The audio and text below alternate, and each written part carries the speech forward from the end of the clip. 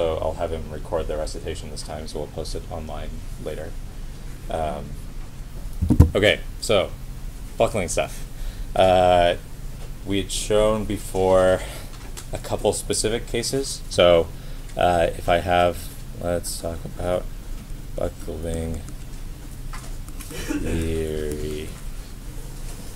So we talked about a couple specific cases where you have beams with fixed ends or pinned ends or um, and and kind of the the end equation for that. Then we had gone through a couple simple examples, one of a rigid rod with a, a spring attached that snaps back and forth, and then one of just the pin pin beam where we did a moment a force moment balance in the cross section and found that there was some critical load where an instability happened and you get some sinusoidal deformation out. So those were kind of more specific derivations. There's also a very general way to do it. So um, today I'm going to talk about the more general derivation theory case and how we get some of those different effective end conditions. So um, we're going to set up our problem like this, where I have some beam now with an unknown boundary condition here at the top and bottom. I don't know exactly what the boundary condition is. Uh, there can also be some kind of arbitrary applied load Q on the side of this, um, Q of X, where this is my X direction and this is my Y direction. And this is gonna at some point we want to figure out if we have a slender rod. Remember we'd gone through the transition between uh, yielding and buckling. If we have a slender rod when is buckling going to happen if I then also have some P applied load to the ends of this so um, if you go through and, and cut the rod apart do shear moment balance internally uh, and you end up with an ODE um, that half of it you'll probably recognize. So uh, the really general form, um, let's define uh, a deflection out uh, v of x. The, the very general form, dx squared, is ei d squared v dx squared plus uh, d dx squared pv uh, is equal to q of x. So this term in here are, are, these two terms, ei d squared v plus pv. This is our, our moment term, and this is our axial force term. Um, in order to get a fully general case with uh, an arbitrary applied load on the side, q, you take a couple second or a couple derivatives and you end up with something that looks like this. For the most part, like 90% of the time, 99% of the time, you, there's no extra applied load to a beam. So uh, generally, uh, generally, if I can spell right, generally, uh, q of x is zero, so we're going to ignore that. And um, ei and p, or yeah, ei and p, i and p are all constants. So here, even though they're technically outside of our derivative, so moment force or bending moment axial force, uh, we can write this in a simpler form, and we get uh, E I V. I'm going to go dashes now uh, plus P V is equal to zero. So this term alone you may recognize from our beam bending analysis. So this is from bending, uh, and this term is basically now an axial force.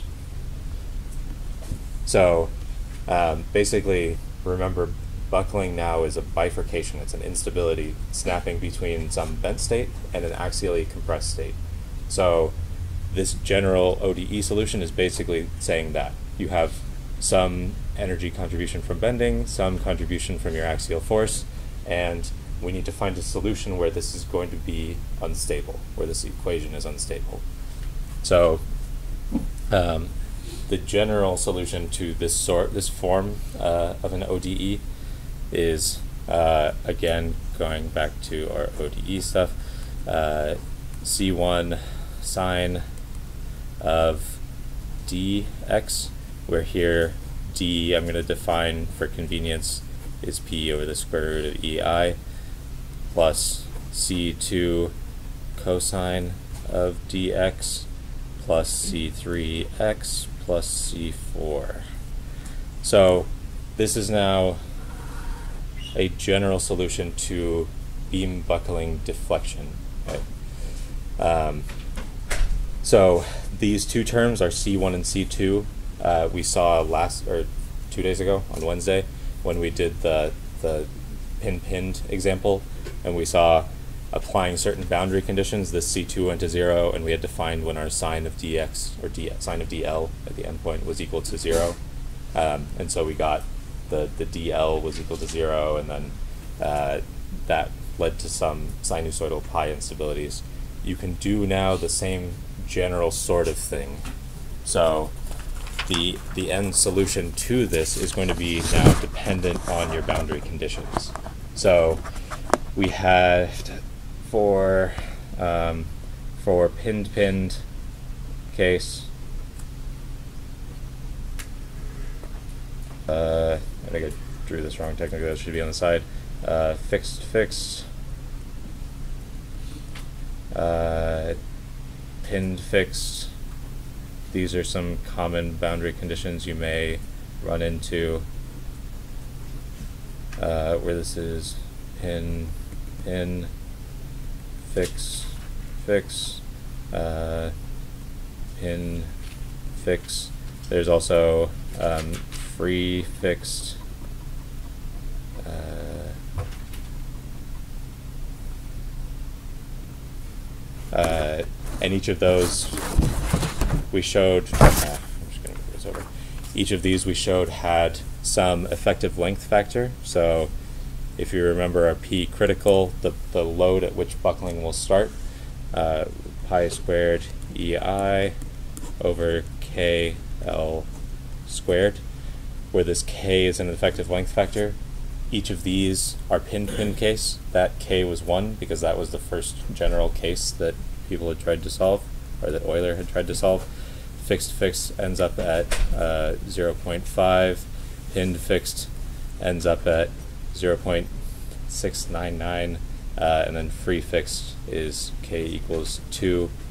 So if you remember conceptually, when, for example, we have a fixed free beam that has buckled, this is effectively, even though its initial length is L, it's kind of forming the same shape as, as our pinned pinned condition, and so we can say its, its effective length is 2L. That's kind of the idea behind this. But the actual the actual math that goes into this is taking this ODE, this solution to our ODE, and plugging in boundary conditions. So for for a pinned pinned case, we know the deflection V here at the endpoints, V of 0 and V of L are equal to 0. We know the moments at the end because it's pinned. There can be no moment because it, it's free to rotate. So uh, our moment at 0 and our moment at L are equal to 0. Uh, for a fixed fixed for example, you have again your V uh, at 0 and L can't move, they can't go back and forth, but now your angle, your deflection at that center point is 0. So the, the angle at 0 and the angle at L is equal to 0. Um, for a pinned fix, then you have some mixed condition. Pin, fix, you have V is still 0 at the ends, uh, and then you have v at 0, or v prime at 0 is 0, m at L is equal to 0.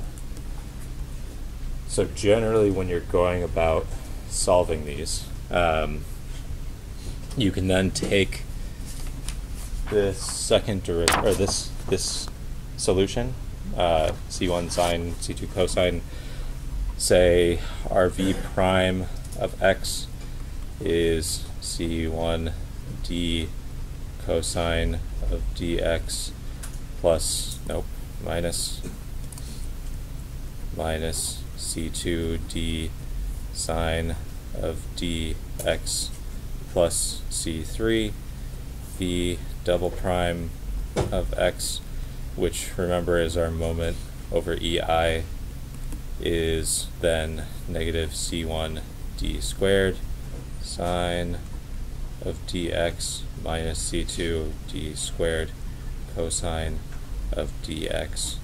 Um, here we go. Uh, and so solving this thing, basically you have four boundary conditions that you have to plug in. You'll end up with four systems of equations that you then have to solve, solving for C1, 2, 3, and 4. When you solve those out, um, so I have it uh, in the notes that I posted online. I don't want to take too long because uh, I know Serwin has to give recitation soon. But um, so, for example, for the pinned fixed case, which is probably the weirdest case, um, pinned fix in fix example. Um, again, we have v at 0 is v at L is equal to 0, v prime at 0 is equal to 0, v double prime at L uh, is equal to 0, or m over ei at L. So our m is equal to 0. If we divide it by el, it's still 0. Um, you can plug these in and say here v 0 ends up being c2 plus c4 v at L is 0 is C1 sine of dl plus C2 cosine uh, dl uh, plus C3 L plus C4. You do that for the few other boundary conditions. Um, I'm not going to go through it all. I, I, have some of it posted uh, again in the notes that I'll be showing online. Um, but you end up with kind of this big matrix solution that you can put, put things into. So you can actually go term by term and try to solve these out, but what we end up with um, is something like this, 0, 1, 0, 1, uh, sine of dl cosine of dl L1 0, 0, 1, 0, and d squared sine of d l d squared cosine of dl 0, 0. Um, all of this times c1, c2, c3, c4 is equal to now zeros. So that system of equations you can rewrite into this sort of a form where now this is basically pulling here like c2 plus c4, c2 plus c4 is equal to 0. Um, so you can take all of these equations, rewrite them. There's now a trivial solution again. Remember where, where our constants, where our c1, 2, 3, 4 is 0. There's actually an interesting solution where here now this matrix A, C, 0 matrix, um, there's an interesting solution when the determinant of A is equal to 0. If you take a determinant, how, how many of you remember determinants from linear algebra? Okay, a little bit. If you go through the math and you take a determinant of this big ugly matrix and you do a whole bunch of algebra and manipulation, you end up with something um, that is square dl is equal to tangent of dl, um, where d again is square root of p over ei. And the general, so now this is x equals tangent of x, which is a weird equation to solve with not exactly a, a, a pure an easy numerical answer. Um, but it ends up then you can if you find a number solution to that, you take the lowest order number solution to that, uh, resolve for p, and you end up with something like a p critical is 20.19 e i over l squared, which is kind of a weird number. So we want to rewrite this now. I'll pull a pi squared out because I liked that pi squared there from the first analysis. Pi squared ei uh, over L squared. Uh, and I think this is like, uh, I didn't actually write it down. There's a, there's four, uh, if you pull pi squared out of 20, you end up with like four point something. Um, I can pull this four squared onto the bottom and I pull a k in there. k now is equal to that 20.19 something uh, divided by pi squared square root which, or flip that one over.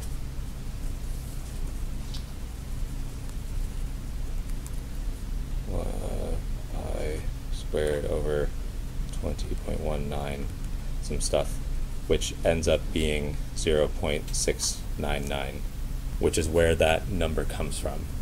So that, that k effective length actually comes from this solution to x equals tan x, which comes from finding the determinant of the solution to our ODE, which is kind of a weird, complicated way of doing it. Technically, using this method, you can solve any boundary condition for any buckling problem uh, with any arbitrary load, but uh, it's not necessarily easy. So most of the time, most of our solutions, we go back to uh, just thinking about it in terms of this and saying there's some effective length k uh, that, and then this one p critical equation for buckling. So, uh, do you mind if I take like five minutes and do a conceptual thing? Yeah. Uh, yes. Thanks. Okay. So I want to roll back really quick before Serwin does his Serwin goes through Resitic and go through a conceptual question. So, let's do some Poll Everywhere stuff.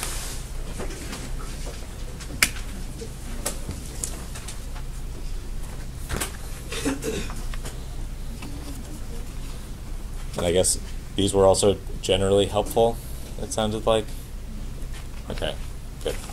I'm glad to hear it.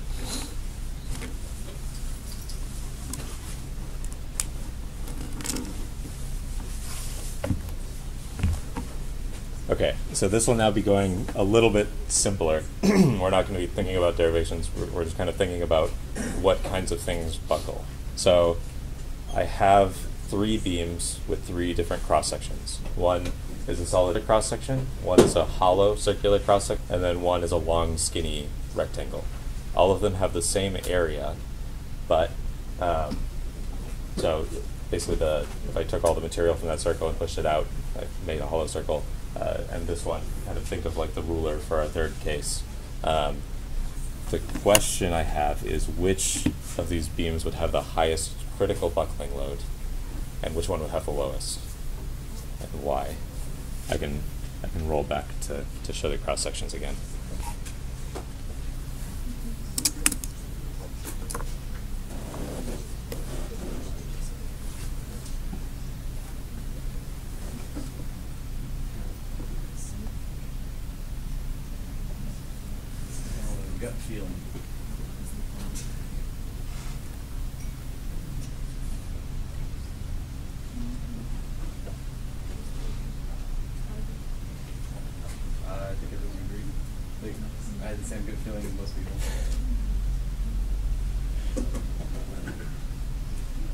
Maybe I should have hid those results until.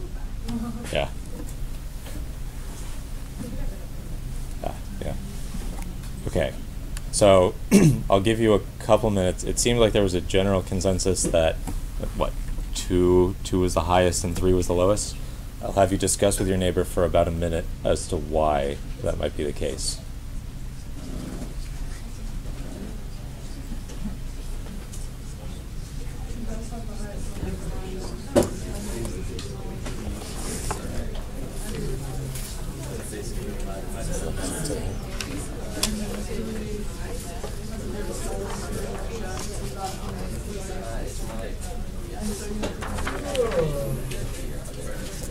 Cool. Just gonna go through? Yeah, I'm just gonna do an uh, example. Okay. Okay. It's really quick. Okay. Yeah. Sorry, I didn't take all, No problem. all the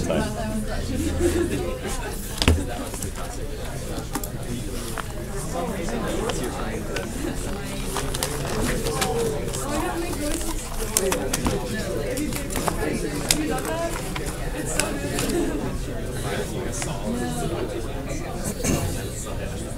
Okay, let's come back together. So, are there any thoughts about why two might be the highest and why three might be the lowest? Other than gut feeling. moment of inertia. So two would have the highest and three would have the lowest along the vertical axis. Yeah, that's uh. So, the lowest along the I guess this way. Yeah. Yeah. Across the vertical axis, I guess. hmm That's good. Any other thoughts?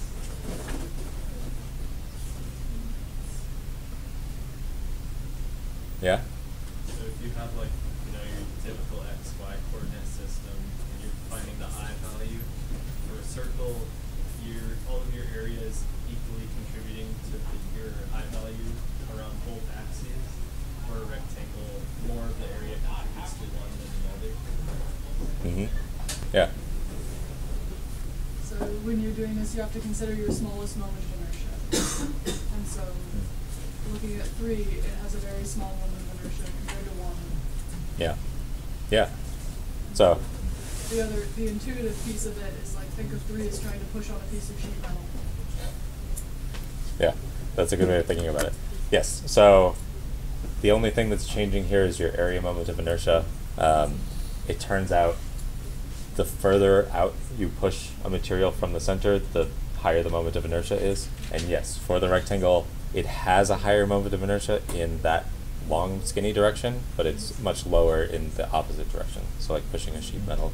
Um, there's actually you run into another problem. So, this this is actually one of the better configurations for for high moment of inertia and, and equal uh, about the axis. But if you make it too thinny, too too thinny, too skinny, too thin, um, you end up with something known as shell buckling instabilities that'll start to happen. So think of a soda can and pushing a soda can, it'll crush and crumple. So that's what happens when you have a very skinny sheet. Aluminum cans work because they're actually loaded under pressure. So even when you stack them on top of each other, they don't take a lot of compressive load. But if they weren't loaded under pressure, they wouldn't be able to handle that sort of compression load, and they would just shell buckle, even though they have a high area moment of inertia. Okay, cool. So All right. I'll let you take it away. Yeah. I feel like if you took an aluminum can, cross-sectional area, and reduced it down to a solid bar, it still would be Not a lot. pathetically easy to squish. Yeah. All right, guys. Um, I got 20 minutes. and I can make it. Um, Should be pretty.